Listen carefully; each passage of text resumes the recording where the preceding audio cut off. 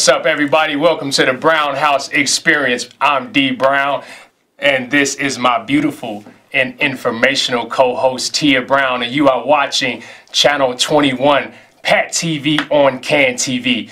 Can't forget the other half of our team in the back in the coast, Scott and Trey Brown. They are handling it on the ones and twos. If at any time you want to chime in and check us out online, you can do so at www.cantv.org forward slash hotline. You can also call in and chime in with whatever you have to say at 312-738-1060. That is 312-738-1060. All right, we got a great show lined up for you guys today. Some nice special guests in the building. I'm going to go ahead and let my co-host Tia Brown take it away. Tia. So first, I hope you enjoyed that video we showed. That was from our Urban Engineering Night. We had book donations from Readers Ignite, which is one of our guests today. Mm-hmm. Her name is Carolyn. She has been so generous to Athletic Connection as well yes, as the Brown yes, House yes. Experience with donating books and getting literacy to our kids. So we're going to highlight her today. We also have the Hillside Hurricanes in the building. We have two, Gang Gang. Yes, we have two of the youth here, Delonte and Mingo. And we also have Coach Tay is that fine? Coach Tay. He's he, Tay Butch. Tay Butch in the, in the, building. He's in the building in the also. Building. So we have a lot of information to show. And we also have our neighbor to know, which is Eric Ruiz. He is from the Chicago Hope football team. We're going to learn right about there. what he's doing in the community to help yes. out. So first we're going to start off with Carolyn and Readers Ignite. We're going to allow her to tell us more about her non-for-profit organization and what she's doing to promote literacy in our neighborhoods. Welcome, Carolyn.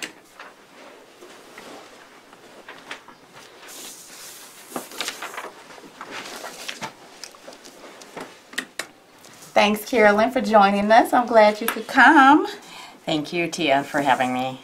Well, first, can you tell us a little bit about your nonprofit, where it started, how you, how, what, where the idea came from, everything? Okay, so um, actually the start of it was back in 2010. I started looking for nonprofits to work with. I, I was interested in opening a children's bookstore, and so I wanted to work with nonprofits that were working on children's literacy and I went hunting for them and I wanted something that had a suburban component. Um, I'm in the suburbs. So um, I found a whole lot of nonprofits working on literacy and some working on children's literacy, but I didn't find a lot going on in the suburbs. So that's where I started kind of digging around. I looked nationally and basically I didn't find what I was looking for.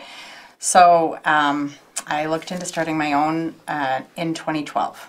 So that was the start of it. So Readers Ignite, where did the title, the name come from?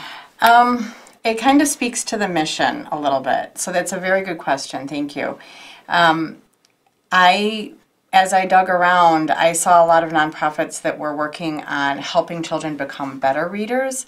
Um, what I feel we're not doing a lot of is helping children get excited about reading. Yes. So to me, that's where the success is, um, because that's then what will carry the youth through right in their lives. I so agree. the idea really under Readers Ignite, why I chose that, is to help light a fire or light the passion for reading within the children. And actually, that's part of why I use athletics as much as possible. Yes, yes. Because kids are excited about their sport, whatever that sport is, and I like, I love connecting reading to that passion, whatever it is. Yes, and that was something that she did with Athletic Connection. She donated baseball themed books to their baseball camp last year. Was it last year? Yes. And it's been a couple of times. Yes. So she and all of the kids received books. So that's something that Carolyn does all the time to help out the youth.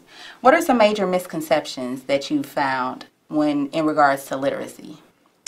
Um, I think the biggest misconception is that there's a problem. Most people, a lot of people think that there isn't a problem with literacy in America. In fact, I've had recent college graduates, um, even with sociology degrees, that have literally said the words, oh, I didn't think literacy was still an issue in the States. And that to me is just inconceivable. We're at 43% of adults in America are estimated to read below a fifth grade reading level. And I think that that information really isn't out there. Um, for people who do know about it, they don't really consider the ramifications of that. Right, I agree. As a teacher, I know exactly what you mean. I have kids that are way below level in my class every year, and every year it seems to be getting worse and worse. So I totally agree. Have you seen a change since when you first started? Is it getting better as far as people uh, realizing that literacy is important, or do you see it getting worse? I think there's both sides of that. I think that um, there are people that uh, that they do. Uh, there's programs that are starting in some libraries in some school districts to work on the literacy issue um, from different paths. Um, but I also think that, for instance, the handheld technology that's going to wind up impacting us negatively. Um, the handheld handheld technology is really working against early literacy skills. Yes and I think that impact won't be felt for about eight to 10 years. And that kind of goes with any challenges you face. The handheld technology mm-hmm. is taking over for the books. Any other challenges that you've seen? Um, honestly, people thinking that early literacy is worth funding. I think that it's it seems like it's something that um, again goes back to because we're not really discussing this issue um, it tends to get balled right into what's happening in the education world, what's happening in our schools, what's happening in this district or this district or with these teachers or this curriculum. And it's really, I keep trying to pull literacy off as a separate issue. It's a building block for our school system. And um, so that's really where that challenge sets. What's your biggest reward so far? So I know you've seen the smiling faces of the kids when you give them books and they have, have the, their favorite book. What's your biggest reward thus far? The biggest reward um, are things like um, I, we just started a laundromat story time, um, and that was really literally this past weekend. And there was a little girl that after we did the the one book, she went over there happens to be a bookshelf at this laundromat and she went over with there's they leave toys out for the kids to play with too and she took the shopping cart and she went over to the bookshelf and she put a book one book in and she brought that book back to me and those sorts of things where it's that's exactly what I'm trying to go after to yes. ignite that passion. Yes. So, what do you all have coming up? So, I know you had that last weekend. Anything coming up? Um, we're working to get corporations to con- or or buildings to consider doing book drives instead of food or coat drives for the holidays.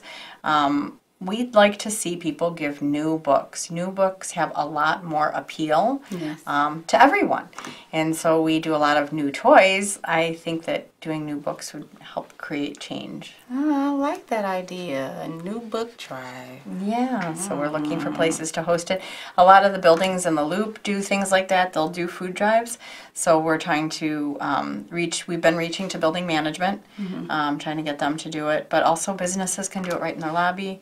Um, so that sort of thing. And, okay. and we also need volunteers for our laundromat story times. Okay, yes. So that's something else. What what are some things that you suggest parents can do to help their kids with literacy at home? They can have books available and they can read to their children. And even for parents who are um, not good readers, themselves. Mm-hmm. They can still facilitate reading. They can still help their child simply by opening a basic book and pointing to this is an orange here here's this is an apple they don't have to actually read the story i think a lot of people get discouraged because maybe they're not very good readers yes. themselves yes. and so um, they are hesitant to think that they can be part of the the building blocks and they certainly can okay do you have any suggestions for any children on things that they can do also to help with their literacy at home. Continue to read. Um, watching. Definitely continue to read. Audiobooks help. I think ah. audiobooks are not as um, thought about or talked about. But um, for instance, a, a, different way to use an audiobook would be to have the audiobook playing and then actually have the physical book in front of you. And so then that would allow um, children to um, it's a substitute for having someone to actually read the book to them. Um, and then they can see the words and, oh, these are how the syllables go. And actually, the process of learning to read is a lot more complicated than we talk about. Yes, I know. It's not an automatic thing. yes, yes. now, you're a teacher for what grade? Fourth grade. I've taught grade. third grade, fourth grade. I've also been a literacy uh, a literacy teacher, reading coordinator. I have a minor in reading, so I know exactly exactly what you're going through, and I go through it daily with my students. So you're living it. Yes, every day for 15 years now. I have been living it every day. So, how can people reach you if they want to know more about your nonprofit? They can reach through. Um, we have we are on Facebook. Mm-hmm. We have a website. They can reach. Um, my cell phone number is 847-471-6277. They can email us at readers.ignite at yahoo.com. Um, so those are the basic ways. And Facebook, Readers Ignite? Yes. Yes, Facebook. Yes. What about Instagram? Not there yet. I think we we have one, but it's not being. I'm trying. I'm looking for interns. If anyone would like to intern, that's so volunteers. Definitely, we need volunteers. We so. and and we need people to spread the word that this is a real issue. Um, I'm just going to tag in here that the the issue that we've started to really dig at and get out into people's awareness is. Um, the real, very real number, it was released in 2016, that 42% of children six and under are not being read to in their homes. And so we really need people on board, and it doesn't have to take a lot of time. You don't have to read stories if you don't want to. We can work with any skill set, and we it just takes need people. a village. It All does. hands on deck. All hands on deck. Hashtag. Thank you so very much, Carolyn, for joining us. If you want to find out more about Readers Ignite, find them on Facebook. Also, readers.ignite at yahoo.com. At yahoo.com. So you can send those emails if you'd like to get involved.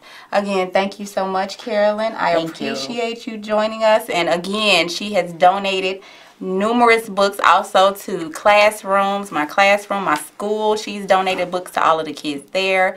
So she is a gem and she is helping build literacy in our community. So she is someone to salute. Thank you again, Carolyn. You. So next up we have our Hillside Hurricanes coming up for our AK Corner with Donnell. Check them out.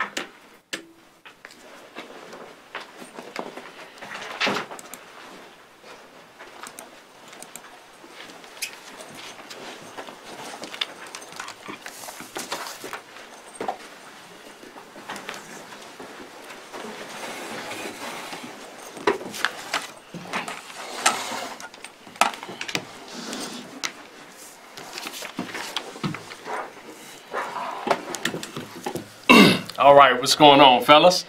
I'm here with the, the Hillside Hurricanes, uh, two players off of the Kane Gang. Hashtag, here we go. All right, so first and foremost, let's go ahead and introduce you to our viewers out there. Tell me your names and your positions. All right, so I'm Delonte Butcher. I play quarterback and safety. Okay. Uh, my name is Mingo Nixon. I play wide receiver and outside linebacker. Okay. So you have Delonte and Mingo, right? What school do you guys go to? I go to Heritage Grove Middle School. I go to Lindop, Lindop Elementary. I hear you guys are a couple brainiacs, man. What's the grade point average so far? 4.0. 3.7. Oh, that's pretty good. That's pretty good. All right, all right. So, tell me, how has the, the Hillside Hurricanes impacted your life? Um, it has impacted me a lot. It has molded me into a leader, like a great young man. Mm, a lot because it brought a lot of opportunities in my life. A lot of opportunities. Name one of those. Um, a lot of high schools coming out to us. That's great. That's great. Who are your role models and why? I would say LeBron James because he gives back to his community okay. and does a lot of things. Outstanding. Uh, I would say Antonio Brown because he's a leader. Antonio Brown and LeBron James. That's not bad on, on the role models for picking those guys, all right? So, next we're going to play a little game called Know Your Teammate. And you have a dry erase board in front of you. We, we always play a little game with our, our people we have on the show to kind of spice it up a little bit. So it's a little hot seat. So what you're going to do right now is we're going to ask you four questions and you're going to write down your answer on your dry erase board. Once we get done, I'm going to ask you guys two questions apiece and see how well you know each other. Cool? Mm-hmm. All right. All right. So we have our dry erase boards. Now, remember, keep your answer to yourself. Kind of cover it up a little bit. It's like a test. All right. First question is Who is your favorite professional player in any sport?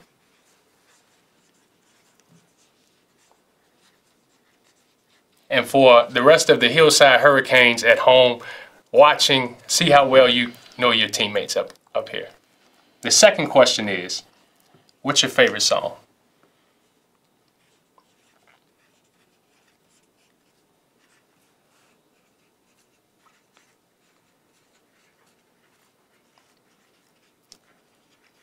Now, our third question for you guys is, what gets you fired up before each game?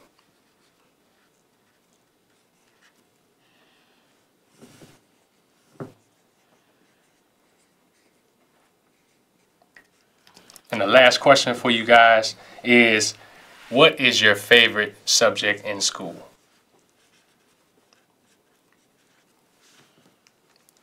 All right, so we're finished up. So now what we're gonna do is I'm gonna ask you guys two questions apiece, and I'm gonna start with Delonte. You're the quarterback, correct? Yes. So quarterbacks go first. Go first. All right. What is Mingo's favorite professional player? Odell Beckham Jr. Odell Beckham Jr. Is that correct? Yeah. That's correct. That's pretty good, man. That's pretty good. All right. So, Mingo, what is Delonte's favorite song? Uh, I think any song about NBA YoungBoy. NBA YoungBoy. All right. Is that true? Yes. That's it. That's two for two. Two for two. All right, Delonte, what gets Mingo fired up before each game? Music. Music. Yeah. Is that correct? All right. What type of music? Um, hip hop. Yeah. Rap. Okay. Okay. And for Mingo, the last question is, what is Delonte's favorite subject in school? Math. Math? Yeah. yeah. I'm a math head too. Is that correct, Delonte? Yeah. All right. Bunch of math guys on stage. So that's four for four. These guys know each other pretty well. So it was great having you guys, all right, on this show tonight. Uh, we are looking forward to watching you guys play this weekend, right? You just had a game, Yeah, uh, last yeah. game this weekend. Tell me what happened. We won 27 to 7. 27 to 7, the second round of the playoffs? Yeah. That's great, man. Make, be sure to check these guys out this weekend. We'll have more information on our website and as well as Facebook. So you can check their game out on Saturday. So let's transition and check out three of their top highlights this year. It feel good when your crowd behind you. You know what I'm saying? Let's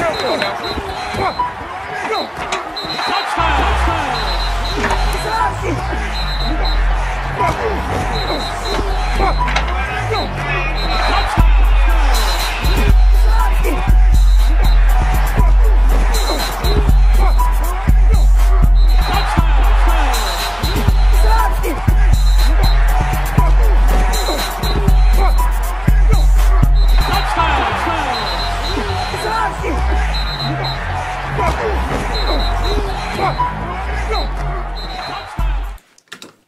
All right, all right. Welcome back. We have Coach Dante Butcher in the building right, of all the. Hillside Hurricanes, man. I'm glad to have you, man. All right, brother. Glad All to right, be here. all Glad right. to be here. All right. So let's get into the questions that we have for you guys today. Tell me a little bit about your non-for-profit Uh, organization. Hillside Hurricanes started in 2014. Um, been going strong ever since. Okay. okay. So how important is athletics in our community? I think it's very important because it brings people together, Mm-hmm. uh, teaches kids a lot of life lessons, Absolutely. uh, teach them how to, you know, work with each other, you know, Mm-hmm. teach them how to take, uh, take, uh, take a, what am I looking for? I had a brain fart. Take orders, not orders, but you know, listen to someone older than them, telling Mm-hmm. Exactly, them, you know, giving right. them instructions. You know, insight and direction, you I get it. Our whole life, we, you know, it's a it's a it's a, it's a ladder. It's a ladder. It's a step ladder. So you know somebody's in charge. You got to take those uh, demands. So I, I definitely teaching them a lot, understand. though. I definitely understand. So, is there anything that athletics can do to unify our community?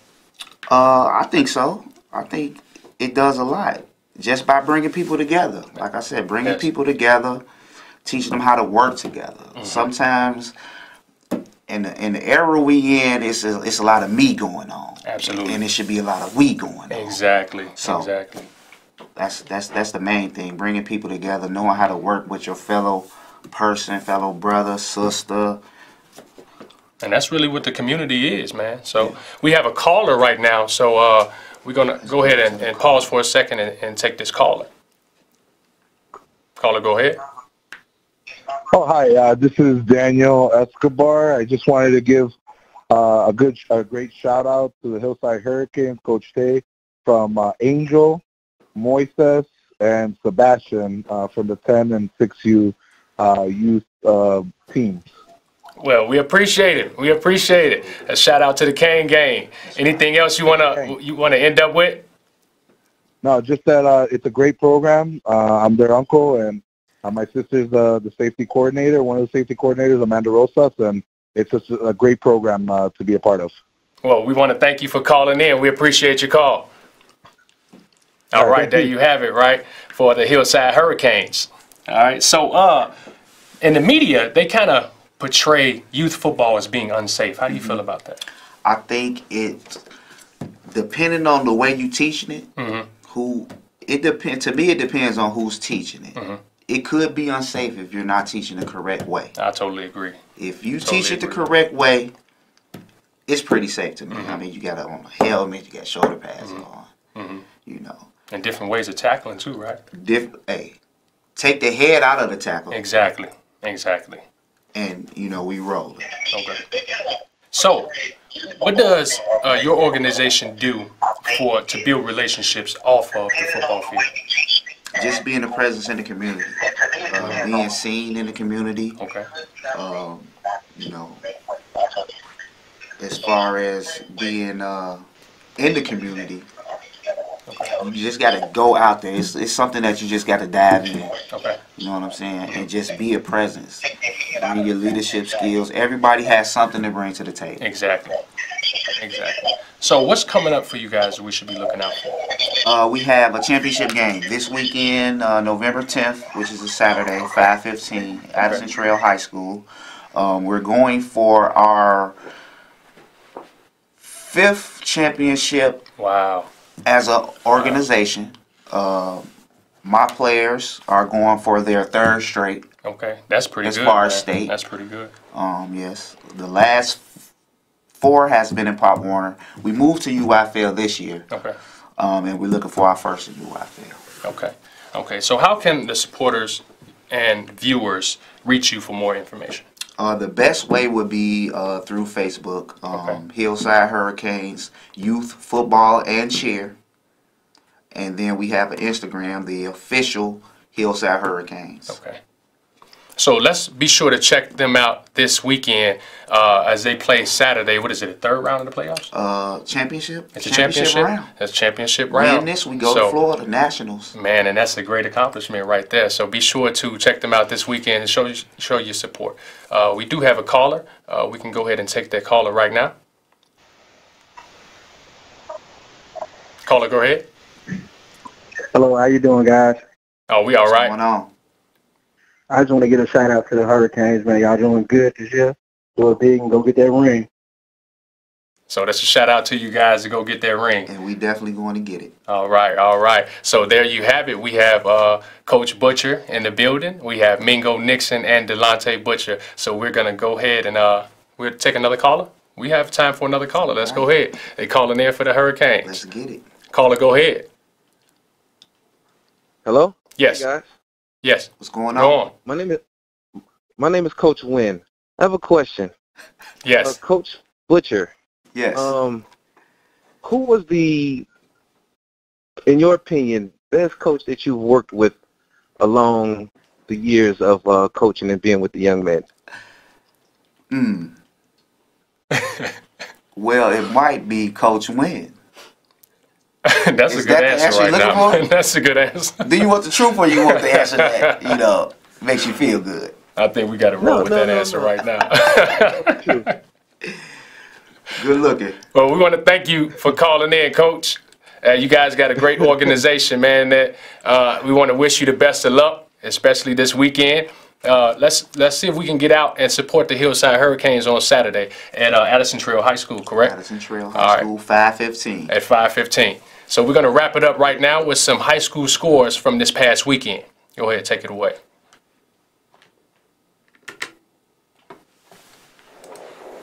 In the IHSA football playoffs, two Chicagoland teams will go on to the quarterfinals. In 6A action, number 4 seeded Phillips defeated Prairie Ridge by the score of 24 to 19. They will go on to play number 1 seeded Prairie Grove. In Class 7A, number 1 seeded Simeon defeated Lincoln Way West in a shootout 48 to 35, and they will play number 8 seeded Nazareth. In the IHSA football playoffs, two Chicago We hope you enjoyed those scores. Can you tell us a little bit about those scores that we just saw? Well, those those two scores, we have two teams going into the quarterfinals of the playoffs, and Simeon and Phillips. We want to wish those teams the best of luck uh, going into the playoffs, and we want to also wish uh, the Hillside Hurricanes the best of luck this weekend as they take on um, a team from Milwaukee. No. So next, our last thing for today is our neighbor to know. We can't forget about Eric Ruiz. He is an awesome young man. He he wrote, I dedicate my weekends to football and kids. I am a team coach for a 9U and 10U football team for the Leighton Bears. I love to coach so I can see the players improve in their game, mental toughness, and physical abilities. I don't only help coach, but I hang out and play video games with them at home. They love that Fortnite and football. So I try my best to do it with them whenever I can, just for some more fun. I also have a job in an ice cream shop in Norridge. I never got ice cream that much as a kid, so I thought it was a good opportunity to give what I never got as a kid. Giving back to the community and youth is an important part in my life. I love the satisfaction of helping people and seeing the smiles of people that will be big one day. Eric Ruiz. He is our teen neighbor to know. Yes, and shout out to Eric Ruiz, man. I know that kid. He's a, a great kid, an outstanding kid. And also shout out to the Leiden Bears, who also trained with us uh, over the spring and over the summer. And they're looking to have a great season next year as well. So we hope you enjoyed today's show. We have a lot of things coming up in the next few weeks with the holidays coming up. Yes. So please continue to tune in, call in. Thank you for all of the callers, all of the, the viewers that watch every week. We appreciate you Yes, all. yes. So we'll catch you all next week. Yes, and for the AK Corner, we are looking for highlight of the year at the high school level and the youth level for football. All right, so if you have those highlights, chop them up and send them in so we can get to playing them. Thanks again, and we'll see you next week. All right, peace.